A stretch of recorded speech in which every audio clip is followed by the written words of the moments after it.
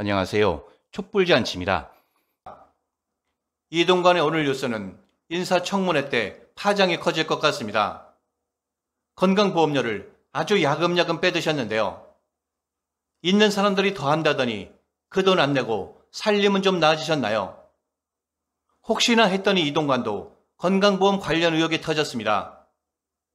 몇 년 전 이동관이 아들 건강보험에 피부양자로 이름을 올렸던 것으로 확인됐다고 하는데요. 이때 이동관은 자격이 안 되었다고 합니다. 그래서 건강보험료 납부를 회피하기 위해 관련 규정을 어기고 피부양자 자격을 획득한 것 아니냐는 의혹이 나오고 있죠.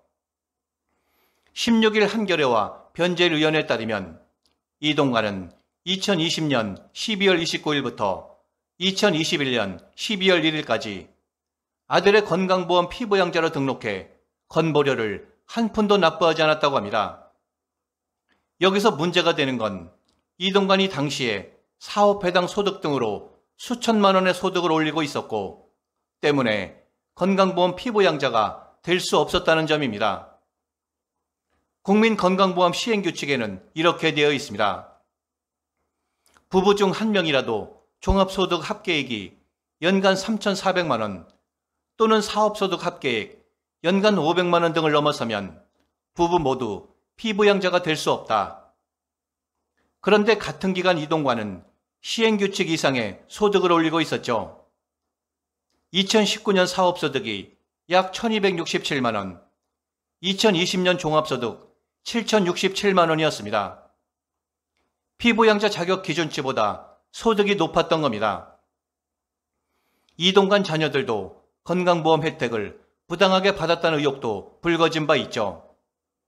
변재일 의원은 고위공직자까지 거친 사람이 꼼수로 건보 재정의 무임승차에 혜택만 본 것이라며 청문회를 통해서 철저히 검증하겠다고 벼르고 있습니다.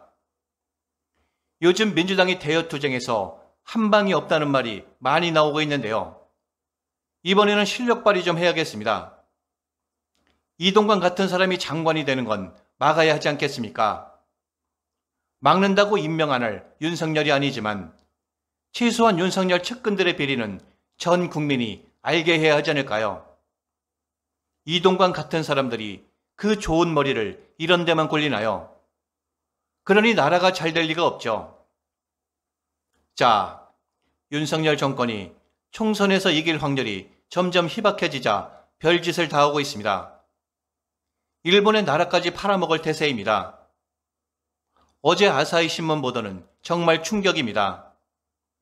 사실이라면 천인 공로할 일인데요. 오염수 방류 홍보대사를 자청하다 못해 조기 방류를 요청하다뇨. 아사히 신문의 뉴스를 간단히 요약해 보겠습니다. 윤석열 정권이나 여당 내에서는 오염수 방류가 불가피하다면 총선의 악영향이 적도록 조기 실시를 요구하는 목소리가 나오고 있다. 이 뜻은 비공식적으로 일본 측에 전해져 일본 정부의 판단에도 영향을 줄 것 같다. 일본의 오염수 방류 계획을 묵인하는 것을 넘어 아예 조기 방류를 요구했다는 내용입니다. 향후 엄청난 파장이 예상되는 대목이죠.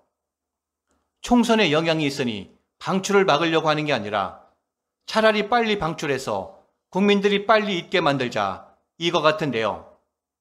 다들 제정신이 아닙니다. 윤석열 정권 안위를 위해서는 국민 안전과 생명까지도 팔아먹겠다는 거 아닙니까? 그런 정권인 줄은 알았지만 이렇게 뉴스까지 뜨고 보니 믿어지지가 않습니다.